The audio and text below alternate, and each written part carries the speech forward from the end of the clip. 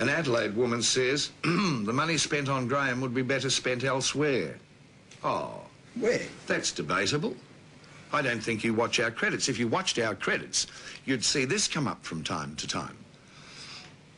Much of the money I receive for doing this goes to the Life Education Program to help young Australians lead a better and longer drug-free life. Would you like to see Australian youths live a miserable short life in the gutter with syringes? You slack-assed Adelaide tart.